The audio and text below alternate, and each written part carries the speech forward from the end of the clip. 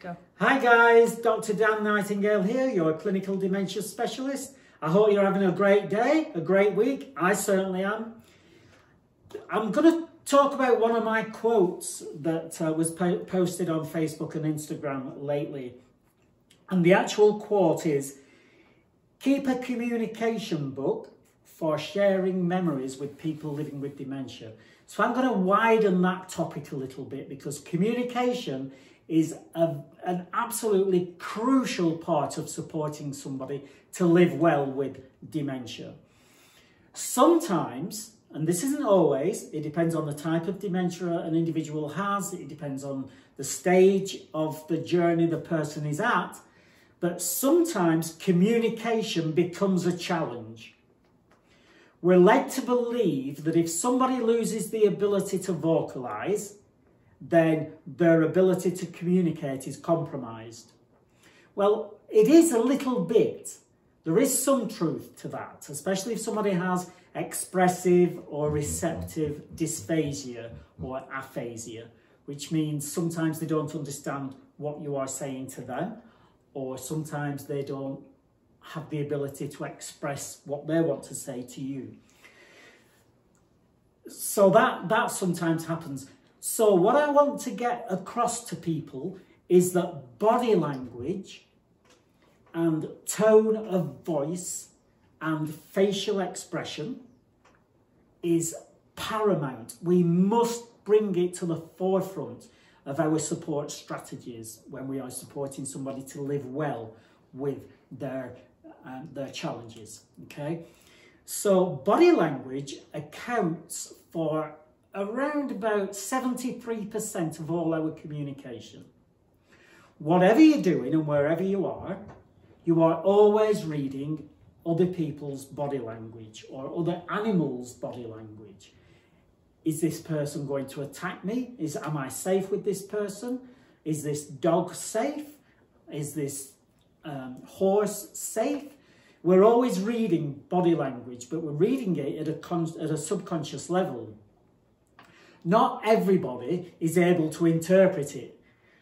So if you think about people who work in airports, security staff, some of those guys have been trained specifically to focus on body language.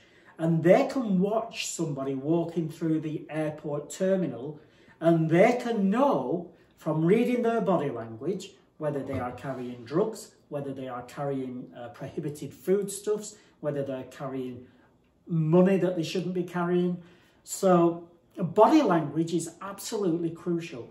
And somebody who is living with dementia, once their Broca's and Wernicke's area become dysfunctional, which is responsible for speech and language, it doesn't affect their ability to read body language.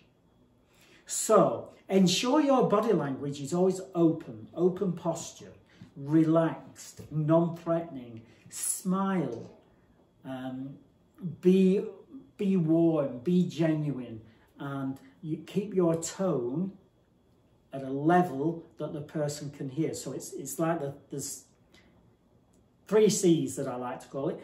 Be clear, be concise, and be consistent. So if you know that somebody has difficulty understanding certain language and certain words and sentences and phrases, choose the words, the language and the phrases that the person can respond to. And you might have to support that with body language or with signing or with um, cards. Or touching. Or touch. Um, so just make sure that you use all those all those mediums for communication and clear, concise, consistent. Consistency is that everybody uses exactly the same phrase, the same words, the same term, the same, the same sentence in the same tone. So don't deviate from that language. Everybody use the same. The same body language, the same tone and the same words.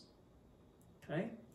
Um, might be necessary to use symbols, signs.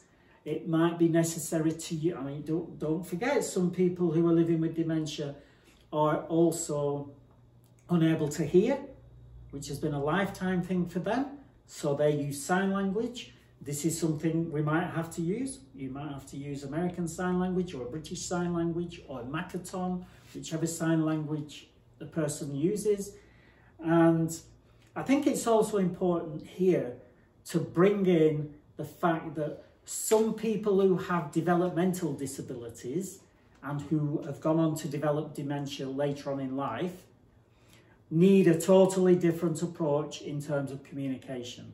So just bear that in mind. If you are supporting somebody who has autism and Alzheimer's disease, somebody with Down syndrome and Alzheimer's disease, you're, you're going to have to change around a little bit. Um, use a different approach, different techniques, different models, different modes of communication. But at the end of the day, it, it's all about the CAR approach. You know, the Nightingale CAR approach, which if you've read my book, you will know that it's in there, um, which is all about communication, attitude and response. So bear those things in mind when you are communicating with somebody. Use everything and anything that you can that helps that individual, no matter how ridiculous it might look or how ridiculous you might think it is. You know, if you have to leave post-it notes in various places around the house, if you have to leave notes on the mirror, if you have to use a whiteboard, a communication book, if you have to use a storyboard, it's all fine. Use whatever you can to improve communication for that individual because at the end of the day, we are trying to ensure that that person has a good quality of life. Lynn. Hi, um, oh, I know a lot of your patients have hearing aids.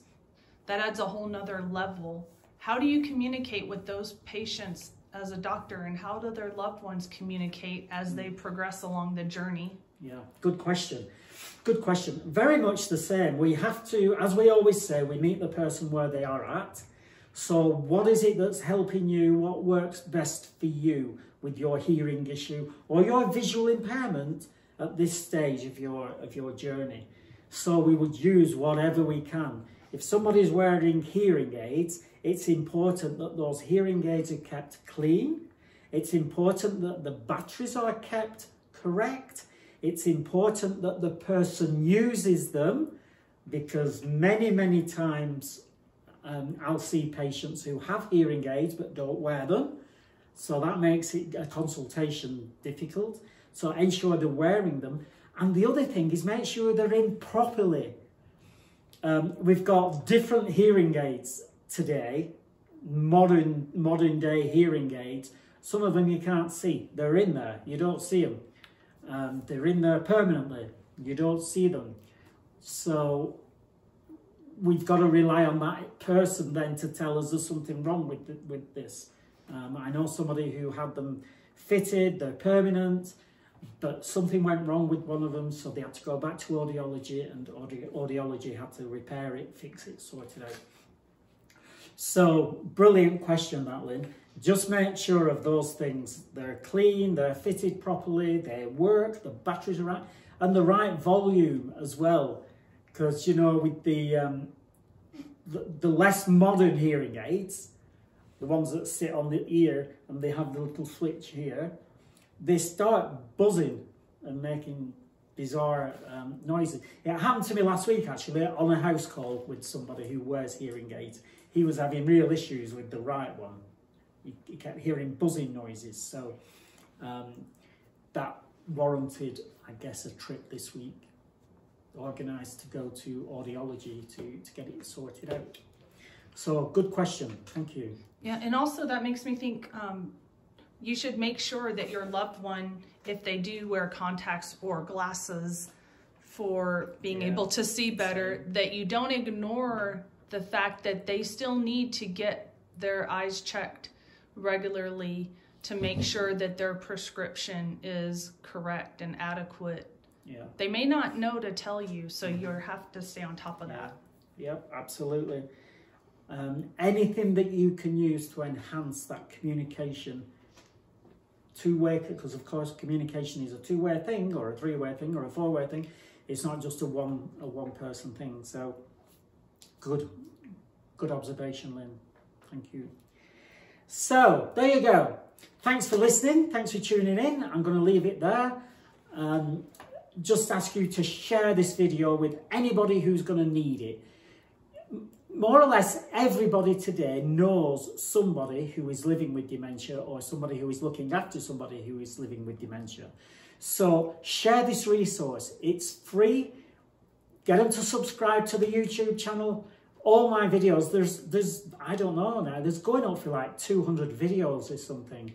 Long videos, short videos.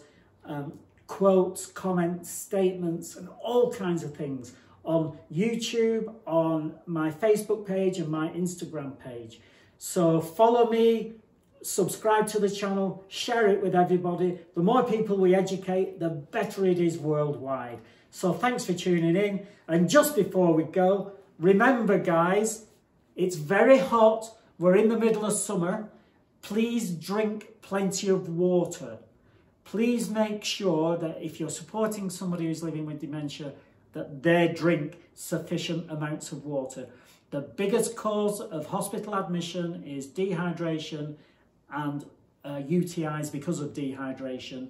People fall, people um, get uh, pettifogged, they, they get more confused. And so just water, water, water. And I know some people are very, very difficult and very confrontational about drinking sufficient water, but just push it. Just push it, push the fluids, make them drink it. And remember, guys, say it with me, dump the soda.